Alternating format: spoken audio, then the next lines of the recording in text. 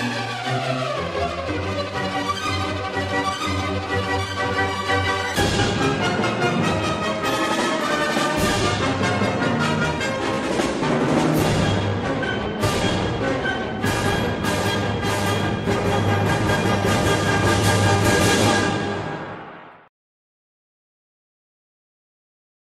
Bonjour et bienvenue au JT du siècle en ce lundi 14 juin. Depuis la fin de l'année 1918, c'est-à-dire depuis le moment où le séjour d'Albanie lui avait été interdit, Essad Pacha s'était fixé à Paris. Il habitait à l'hôtel Continental. Ses collaborateurs de la mission albanaise occupaient des appartements voisins. Après avoir déjeuné à l'hôtel avec son neveu, Jamil Bey et mademoiselle Lisette Del, Essad Pacha sortit en compagnie de celle-ci par la porte de la rue de Castiglione et se dirigea vers son automobile. C'est à ce moment qu'un individu qui se dissimulait derrière un des piliers, la colonnade, s'avança brusquement et fit feu à presque bout portant sur le chef de la délégation albanaise. Atteint au poumon droit, le chef du gouvernement albanais s'abattit sur le trottoir, foudroyé. L'assassin fit un mouvement pour fuir vers la rue de Rivoli, mais le chasseur Calvet le saisit. Il faut enregistrer textuellement la déclaration du meurtrier. Essed Pacha marchait d'un pas conquérant, orgueilleux. Je pensais soudain que ce tyran, qui avait fait tuer tant de mes compatriotes, était à deux pas de moi, seul, à ma merci. Je ne sais pas ce qui se passa. J'ai pris mon revolver et j'ai tiré, sans savoir. Le gérant de la maison où logeait le meurtrier ne peut concevoir qu'il a logé un assassin. Il décrit le jeune homme comme doux, correct, tranquille. Et cette pacha était depuis dix ans la figure déterminante du parti nationaliste albanais. Alors qu'il était ministre de la guerre de l'Albanie, il fut emprisonné par le prince de Vied et s'évada, forma une armée et déclara la guerre de l'indépendance. Et cette pacha tombe au moment où la tentative faite par les Italiens pour établir le protectorat en Albanie provoque une grave insurrection. Nul n'était plus désigné pour prendre la direction du mouvement que le chef optant. Il n'y a pas à craindre que les champions d'indépendance manquent au pays des Skiptars. Mais on ne voit pas, à l'heure actuelle, d'hommes aussi préparés à grouper les éléments de résistance.